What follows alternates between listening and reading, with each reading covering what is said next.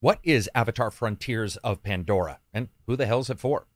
At times, it's sliding through the tall grass, slaughtering invaders, taking out enemies, grabbing some fleshy, liquid filled pods from an alien tree, and chugging them down. Then leaping on the back of your four eyed pterodactyl thingy and flying up to some floating islands because it looks fun.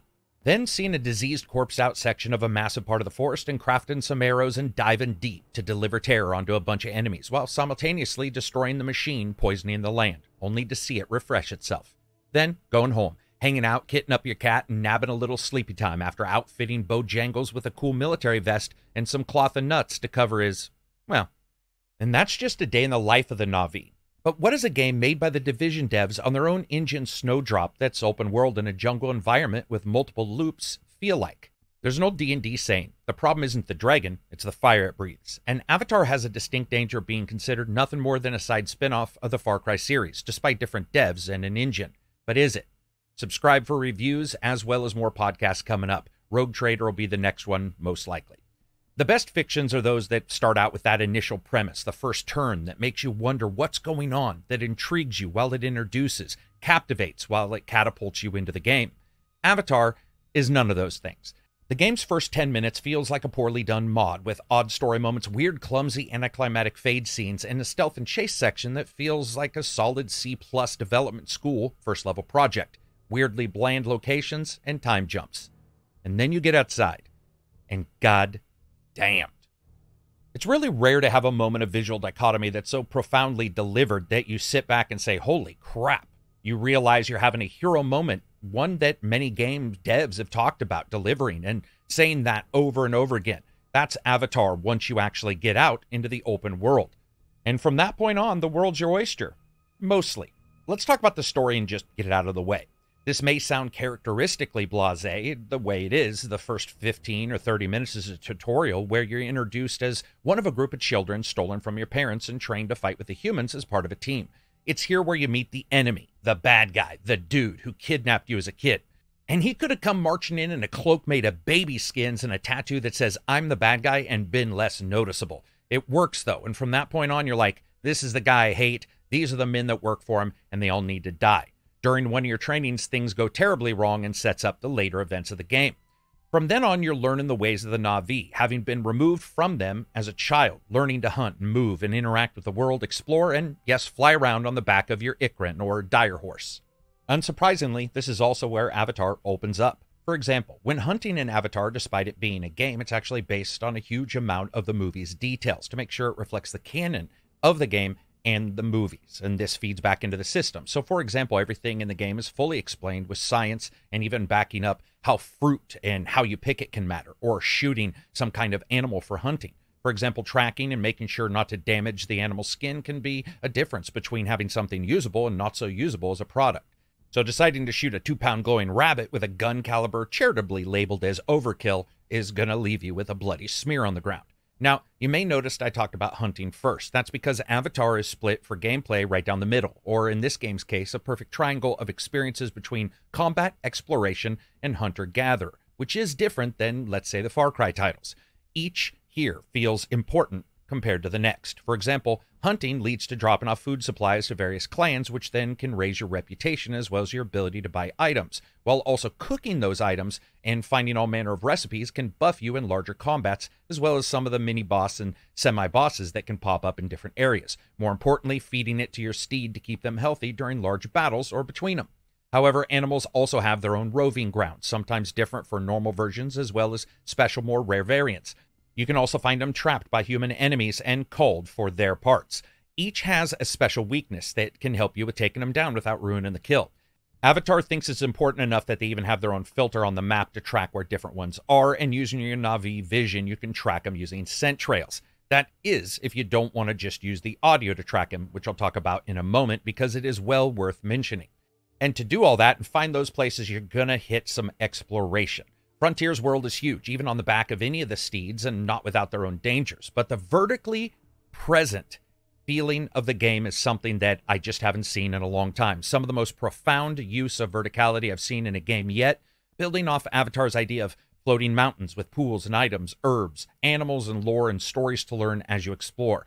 But the scale is truly impressive Spending 20 minutes climbing up a mountain face and back trails to just cruising through a weeded jungle. But then you can dive down deep near the rivers and you can train your Ikran to grab food out of the water to feed itself. I'm going to say they're familiar in that way, but also alien in just the fact that there's so much vegetation and different animal flora and fauna that is quite surprising that it can feel completely unique. And your treks between all of these to perform the quests, collect, fight enemies, or just for fun is going to lead you to the realization that this game is huge. But no matter what you think, size doesn't always matter. It's what's contained within it, what's too much, and what's not enough. This is a difficult problem Far Cry games have wrestled with, where they're scared that if they go like 40 seconds without a major firefight or some random dude with a horse selling you guns on a trail, that there's a problem. You know it's bad when weed dispensary owners in the Pacific Northwest look at your game and go like, man, that's a lot of shops. Avatar does not actually have that problem at all. It centers the activities, reputations, rewards, and most everything else into specific locations with only side quests out in Pandora. It's a notable and worthwhile change that slightly flips the feeling of Pandora to something else that I really wasn't expecting. Let's discuss the combat because this was expected in many ways. And like most open world shooter games, Avatar hits those tropes. Weapon wheel, check. Different ammos, check. Explosive subcategory, check. Crafting items as you sprint just below the headline of some pissy marine, checkity check. The game offers short bows and long bows, heavy bows, shotguns, assault rifles, RPGs, bomb throwers, and more. And hell, man, you got yourself a party. All of them are customizable with items that both affect their gameplay or just look cool, which matters if you're playing co op with another friend who wants to jump in. By the way, co op progress is saved for both, meaning if you jump into your game, you can skip any missions you've already done in somebody else's. Bow combat feels pretty good, with each fulfilling a different range, but the staff sling itself is hilarious, and outside of that, this thing just throws out traps, not unlike Horizon Zero Dawn. But watching the human enemies realize that it's there if they saw you toss it and then seeing them shift around to try to not get blown to dust, only to have their friend who didn't see it run straight into it like a kamikaze pilot is awesome. The guns themselves feel pretty good, each has their own place. Enemy AI is about what you would expect. Here, sometimes it shows great care in not blowing their own legs off on explosives, and the mechs have a wicked side dodge leap that can put what was in front of you behind you in a millisecond. Other times they can't get out of a gate, and shooting them with arrows results in a consistent, we have sensed enemy presence in our sector. Yeah, no shit, Sherlock. As you turn three of their best friends into pufferfish by just filling them full of arrows. Harder difficulty is mostly just up the damage done and received, so not a lot of real choice there. I can see sometimes it feeling awesome, and other times it felt exactly as you would expect. Tearing someone out of their mech and then turning his pal into a pinata with a well placed arrow as thick as a friggin' baseball bat is also great and also in exploring its moments of almost serene awe and a much more sedate exploration than we've seen in other games. These are all combined by one particular change that I see in Avatar that a lot of games haven't hit, and that is movement.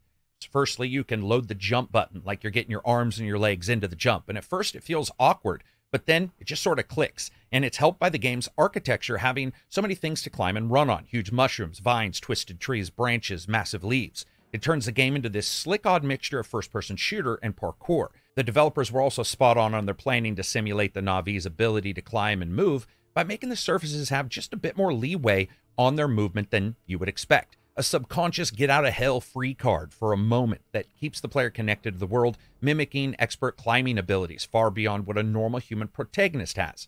This all ties into the skill tree and how it works and how it's used and upgraded. Not really a surprise, Na'vi have skills in a skill tree that's not unlike other games of this type, with these trees based on survivor warrior and so on. Additionally, you get to the highest normal skill in each tree, and you have an actual quest to get that skill or a challenge of some way, effectively tying the world narrative with that growing power of the character altogether. I can fault Avatar for a couple different things, but making it feel like it's its own thing is actually not one of them. Most importantly, though, are the ancestral skills, a different subset that by finding more of these old flowers, you can get high as a kite and then attain more powerful ancestral skills, which are easily the most impactful in the game. And a couple deal directly with special moves you can use in combat, but it also has helpful skills in exploration. The game has a lot of hidden information, story and character wise, in the locations of the world, and many of them are not hinted and usually end up getting you or benefiting you in some way. Speaking of benefits, you can assume that Avatar has a loot system, and it does, upgrading your character with items that you find in the game world as well. And in a unique turn, the human factions have a different kind of supply they want with its own little mini game for resources. Again, bravo to the dev for just saying, hey, let's go all in on making it seem slightly different. You can even upgrade your mount, adding the ability to attack flying creatures, fish for food, as I said before, and even more. Now, let's briefly touch on Ubisoft's connection, not the software. The feeling that despite playing games from different devs, there's a sameness to them. Does Avatar fall victim to that with these gameplay loops? Sure, in some ways. There's collectibles in some way. There's a cooking system, there's a hunting system, and upgrade systems. But even non Ubisoft games have a number of those. What I can say is that I walked away with a greater deal of solid, memorable, and different experiences in Avatar than I've had in the last four Far Cry games. And some of that can be the graphics and the performance. Kudos to the developers of Pandora on the phenomenal work they did in level design. In a world this overgrown and this lush, the idea of getting lost, both lightly brush in the back of your mind at all times, is also battling with playability and impacting the player. I was astonished that in a chase scene or climbing scenes, there's an intrinsic, almost instinctual nature to the level building. One example, of course, you've seen before was the Rookery, a massive mile high climb to get a mount that involved climbing and leaping into the air with nothing below you and a fair amount of springing across gorgeous landscapes and yet this level design consistently hints at where the path is. Small deviations in the terrain heights and other natural indicators consistently feed visual data to the player, and it's incredible to see how well they nailed that.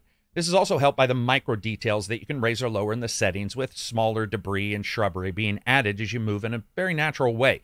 While you do occasionally get pop in in the game, the amount of it is surprisingly low. There's a visual clarity in this image that is pretty astounding. It shows that Snowdrop is just one hell of an engine, and you can see that easily when we talk about the performance. With a new i7 at 5.2 and a 4090 with 64 gigs of RAM, performance wise, I was getting 70 to 100 FPS with no upscaling at all at 4K, and most settings on Ultra with a couple on high, and just no stuttering whatsoever.